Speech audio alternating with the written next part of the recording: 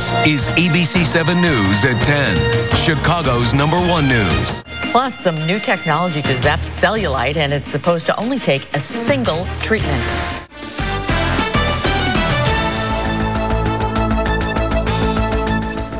Tonight's special segment, Zapping Cellulite, the one-time treatment that may erase the dimpling that causes cottage cheese thighs. Health Beat reporter Sylvia Perez shows us a newly approved procedure, one that is billed as the longest-lasting solution out there. You can exercise, lose weight, even eat healthy, but cellulite seems to find a way to plague even the most perfect of bodies.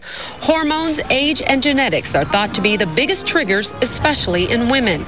Regardless of how or why it's there, most women would like it gone. Donna Weinsberg is one of them. We just all want that smooth, wonderful, perfect skin, and Cellulite is just not smooth or perfect.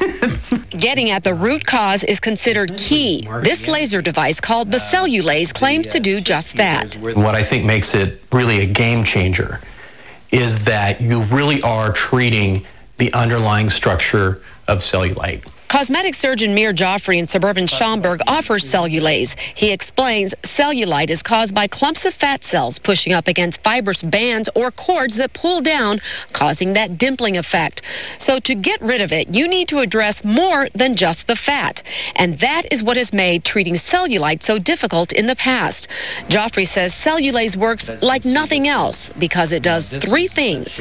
It melts the bulging fat pockets, cuts through and releases the fibrous bands that are pulling down and triggers the production of collagen to help thicken and smooth the skin. All of this should happen with just one treatment. You're actually going underneath where those fibrous septations are, where that fat is, and dismantling the entire architecture of the cellulite. Donna Weinsberg invited us along to watch her procedure. No pin pricking or anything. Weinsberg is awake and a local anesthetic is used in the area being treated. Through a tiny incision, the laser on the end of a very thin tube is threaded under the skin and the cellulite is targeted as the laser passes back and forth, angling in different directions.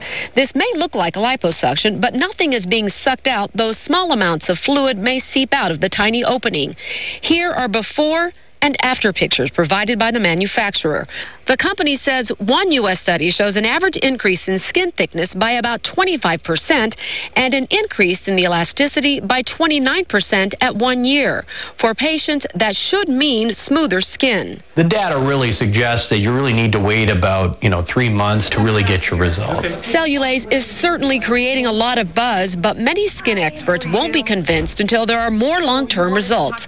Cosmetic surgeon Carolyn Jacob is one of them. So things continue to march march on with time, and it's hard to say that anything's permanent with one treatment for the skin. So I'm very interested to see how well it works for patients. Weinsberg says she was back to her normal routine the next day and even putting in a full day of work on her feet at another medical facility. She knows it will be months before she sees any dramatic results. By the time it warms up, I should be ready. I hope I'm hoping. For Health Beat, Sylvia Perez, ABC 7 News.